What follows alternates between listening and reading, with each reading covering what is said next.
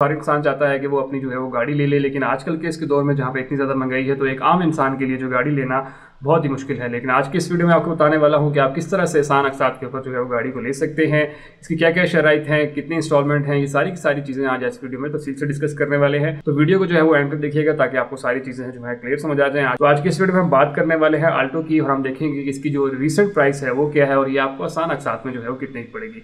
तो दोस्तों चलते हैं कंप्यूटर की स्क्रीन पर वहाँ चल के सारी डिटेल डिस्कस करते हैं। कंप्यूटर की स्क्रीन पर जिससे पहले अगर आपने अभी तक हमारा चैनल सब्सक्राइब नहीं किया तो चैनल को सब्सक्राइब कर लीजिए, साथ बेल का आइकान होगा। उसे लाजमी दबाइएगा ताकि मेरी हर आने वाली वीडियो का नोटिफिकेशन आपको मिलता रहे। तो दोस्तों, चलते हैं हम कंप्यूटर की स्क्रीन पे। दोस्तों, हम कंप्यूटर की स्क्रीन पे आ चुके हैं। आपके सामने जो है मैंने यूबीएल की ऑफिशियल वेबसाइट जो है ओपन कर ली है, जो कि आपको एक फैसिलिटी प्रोवाइड करता है कि आप जो है वो इनसे आसान अकसात के ऊपर इस्लामी असूलों के मुताबिक जो है वो गाड़ी को परचेज़ कर सकते हैं। तो हम इसकी थोड़ी डिटेल से डिस्कस कर लेते हैं। इस पैकेज का नाम है U B L Ameen drive Islamic जो कि इस्लामी असूलों के जो है वो मुताबिक है। यहाँ पे ये देख लें auto financing facility is based on डिमेशन मुश्कारा कॉन्ट्रैक्ट तो ये जो है बिल्कुल इस्लामी टर्म के बिल्कुल मुताबिक है। इसमें जो टर्म इस्तेमाल की जाती है वो मुशरका कॉन्ट्रैक्ट के इसमें जो है वो आप आप और बैंक जो है दोनों जो गाड़ी के ऑनर होते हैं और देन जो है आप इसकी इंस्टॉलमेंट देते हैं। इंस्टॉलमेंट के बाद जब आपकी इंस्टॉलमेंट कंप्लीट हो जाती है तो गाड़ी तब जो है वो आपके नाम जो है वो हो जाती है। इसके फीचर्स एंड बेनिफिट्स की अगर बात करें तो आप जो इसमें हज़ार सी भी ले सकते हैं और हज़ार सी ऊपर की गाड़ियाँ भी जो है वो ले सकते हैं। और यहाँ पे इन्होंने क्लियरली बता दिया है कि आप any local assemble manufacturing new और यूज़ दोनों गाड़ियाँ जो है वो ले सकते हैं। इसी तरह जो हज़ार सी ऊपर लेना चाहते हैं तो उसमें भी न्यू और यूज़ और लोकल जो है वो गाड़ी जो है आप ले सकते हैं। प्रोसेसिंग जो फ़ीस है, इनकी आफ्टर अप्रूवल ऑफ़ केस जब आपकी जो है वो केस अप्रूव हो जाएगा तो तब आपको जो है वो प्रोसेसिंग फ़ीस जो है वो देनी पड़ेगी। क्योंकि बाकी बैंक में ये होता है कि आपको जो है पहले प्रोसेसिंग फ़ीस जो है वो देनी पड़ती है और वो नॉन रिफंडेबल होती है, अगर आप रिजेक्ट भी हो जाते हैं। लेकिन इसमें एक अच्छी चीज़ है कि आपको जो है बाद में फ़ीस जो है वो दोनों में देनी पड़ती है। अगर आप हज़ार सी से कम ले रहे हैं तब भी और अगर हज़ार सी से ऊपर की गाड़ी ले रहे हैं तब भी। इस तरह फाइनेंसिंग पीरियड जो है वो आपको अगर हज़ार सी से नीचे गाड़ी लेते हैं तो देन आपको जो है वो एक से पाँच साल के अरसे में आपने वापस करनी होती है और अगर आप हज़ार सी से ऊपर की गाड़ी लेते हैं तो देन आपको एक से तीन साल के अंदर अंदर जो है वो वापस करनी होती है। इसी तरह डेबिट बर्डन रेशो जो है वो मैक्सिमम अलाउड फिफ्टी परसेंट है और इसी तरह जो आपका घर हज़ार सी से ऊपर जाते हैं तो देन फोर्टी परसेंट है। इसी तरह मिनिमम कस्टमर शेयर इक्विटी क्या है अगर आप जो है हज़ार सी से नीचे लेते हैं तो आप जो है वो नई गाड़ी के लिए थर्टी परसेंट है और यूज़ गाड़ी के लिए भी थर्टी परसेंट है इसी तरह जो हज़ार सी से ऊपर के लिए भी सेम है कि थर्टी थर्टी परसेंट न्यू और यूज़ दोनों गाड़ियों के लिए आपने देना पड़ेगा उसके बाद आ जाती है बात कि फाइनेंसिंग बैंक आपको जो है वो कितनी फाइनेंसिंग जो है बैंक देता है आपको जो है बैंक वो दो लाख रुपए से लेकर तीस लाख रुपए तक का जो है वो लोन देता है जो भी यह गाड़ी आप लेना चाहते हैं इसी तरह अगर आप हज़ार सी से ऊपर की लेना चाहते हैं तो उसमें भी आपको जो है वो ज़्यादा से ज़्यादा तीस मिलियन जो है वो दिया जाता है उसके बाद जो है इसमें तकाफुल भी जो है आपको लेना पड़ता है, जो कि वो है कंपेटिबल रेस है। बाकी बैंक के मुकाबले में जो है वो आपको आसान जो है यहाँ पे तकाफुल की फ़ीस जो है पड़ जाती है। इसी तरह दोनों में ये शामिल होगा और आपको लाजमी जो है वो लेना पड़ेगा। इसी तरह ट्रैकर डिवाइसेस भी जो है वो इंस्टॉल की जाती हैं। Maximum safety of your vehicle through tracking installation इसमें दोनों में जो है वो आप जो भी लेंगे, उसमें जो है आपको ट्रैकर जो है वो इंस्टॉल मिलेगा।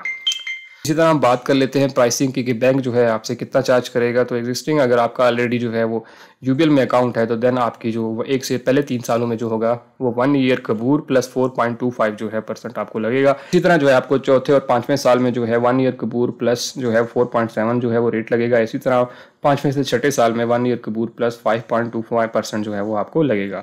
अगर आप ऑलरेडी जो है वो कस्टमर हैं यूबीएल के। इसी तरह जो है वो अगर अगर नए कस्टमर हैं तो देन आपको one year KIBOR plus four point seven five percent और इसी तरह चौथे से पाँचवें साल में one year KIBOR plus five point two percent इस तरह जो है वो आपको पाँच से छः साल में जो है one year KIBOR plus five point seven five percent जो है वो आपको ये लगेगा, ठीक है?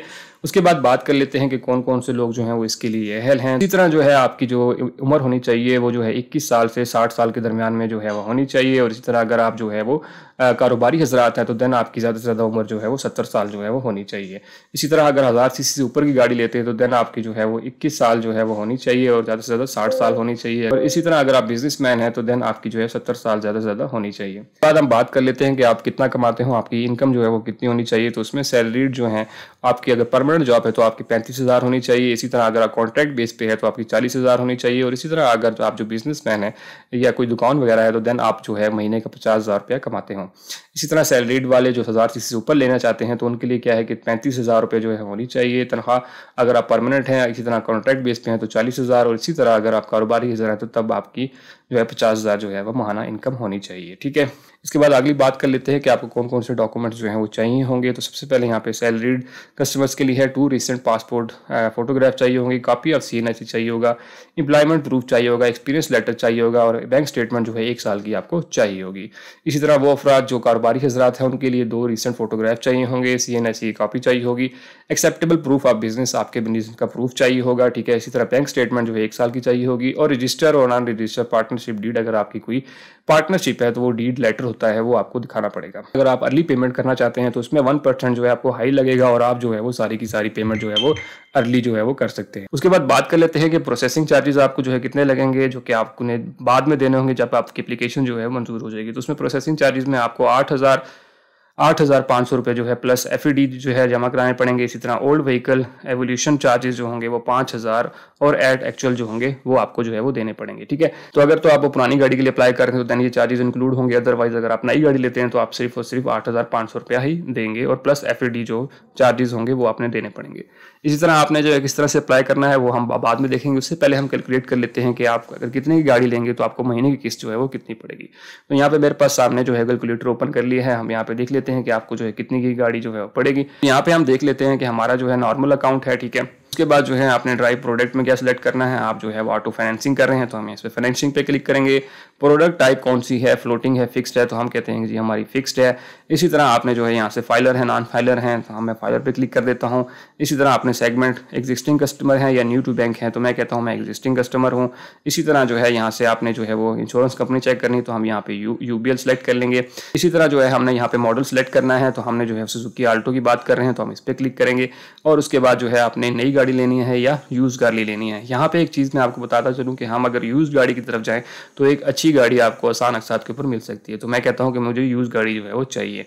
इसी तरह अगर हम बात कर लें गाड़ी की टोटल प्राइस की तो नई गाड़ी की जो प्राइस ऑलरेडी आजकल आ रही है, वो तेईस लाख इकतीस हज़ार रुपये जो है वो आपको गाड़ी मिल रही है आर तो एक अच्छी सेकेंड हैंड गाड़ी जो है वो हमें तकरीबन जो है वो पंद्रह से अठारह के दरमियान या सतारह के दरमियान जो है मिल जाती है। तो मैं कहता हूँ कि मैं जो गाड़ी लेना चाहता हूँ, वो तकरीबन सोलह के अराउंड जो है मुझे इजीली मिल रही है तो मैं यहाँ पे सोलह सोलह लाख जो है यहाँ लिख दी उसके बाद डाउन पेमेंट जो है मैं कितनी करूँगा तो मैं यहाँ से डाउन पेमेंट सेलेक्ट कर लेता हूँ। तो मैं कहता हूँ कि जी, मैं फोर्टी परसेंट जो है डाउन पेमेंट करूँगा। इसी तरह मैं यहाँ सेलेक्ट करूँगा कि मैं कितने अरसे के वापस करता हूँ तो मैं यहाँ से जो है वो मैक्सिमम जो है वो सेवन ईयर्स कर लेता हूँ। तो आपकी जो टोटल जो है वो इंस्टॉलमेंट महीने की बनेगी, वो उन्नीस हज़ार तीन सौ चौंसठ रुपये जो है वो आपकी बनेगी, जिसमें आपका इंटरेस्ट रेट सोलह इशारिया चौवन परसेंट होगा और प्रोसेसिंग फ़ीस आपकी आठ हज़ार पाँच सौ होगी। डाउन पेमेंट जो है वो आपने छः लाख चालीस हज़ार रुपये करनी है। इसी तरह जो है फ़र्स्ट ईयर इंश्योरेंस जो है वो आपकी बत्तीस हज़ार रुपये होगी। डॉक्यूमेंट चार्जेस जो है वो नौ हज़ार छः सौ पाँच रुपये होंगे। ये तो टोटल जो है वो आपकी जो है ये चीज़ उन्नीस हज़ार तीन सौ चौंसठ रुपये जो है पर मंथ के हिसाब से आपकी बनेगी ठीक है? तो ये इसने सारी चीज़ें कैलकुलेट करके दे दी हैं। इसी तरह अगर आप खुद से कैलकुलेट करना चाह रहे हैं हाँ, तो आप यहाँ पे ऊपर नीचे जैसे भी करना चाह रहे हैं आप उसी हिसाब से इसको कैलकुलेट कर सकते हैं। दोस्तों ये वो डिटेल्स थी किस तरह से आप यूबीएल से जो है वो आसान अकसात के ऊपर जो गाड़ी ले सकते हैं। होप्स आपको सारी चीज़ें क्लियर समझ आ गई होंगी। अगर आपका फिर भी क्वेश्चन है तो मुझे कमेंट सेक्शन में लाजमी बताइएगा। और सबसे इंपॉर्टेंट है कि दूसरे दोस्तों तक वीडियो लाजमी शेयर कीजिए, ताकि बाकी लोग भी इस चीज़ से फ़ायदा उठा सकें। और सबसे आखिर में अगर आपने अब तक हमारा चैनल सब्सक्राइब नहीं किया तो चैनल सब्सक्राइब कर लीजिए, साथ बेल का आइकान होगा, उसे लाजमी दबाइएगा, ताकि मेरी हर आने वाली वीडियो का नोटिफिकेशन आपको मिलता रहे। तो दोस्तों, मिलते हैं इसी तरह की अगली वीडियो में, तब तक के लिए मुझे इजाज़त दीजिए, अल्लाह हाफिज़।